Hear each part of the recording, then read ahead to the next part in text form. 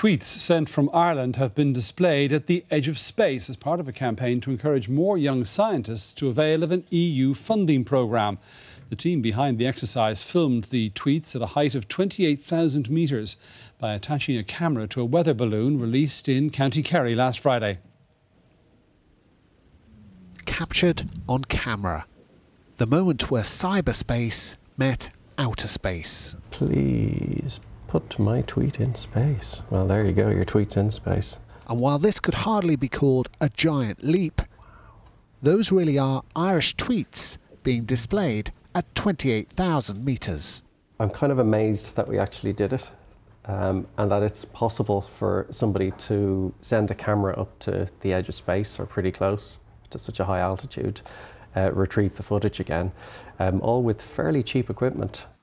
This is how they did it. It involved the release in County Kerry of a weather balloon with a camera attached to it. There it goes. Tied to this was another balloon with an image of the Irish scientist Robert Boyle on it. The idea was the camera would film this balloon as it expanded until it eventually burst, as Boyle's law predicts. The experiment had attracted plenty of interest on Twitter, and it's those tweets we see at 28,000 metres on a screen which was also attached to the weather balloon.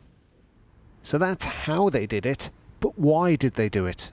We wanted to celebrate science um, and celebrate Irish science, and also to highlight the fact, because this is an EU project, that uh, the EU is a great funder of science in this country. Um, uh, to highlight that fact and to encourage people to pursue that kind of funding. And if this inspires the next Robert Boyle, it really will be mission accomplished. Philip Bromwell, RTE News.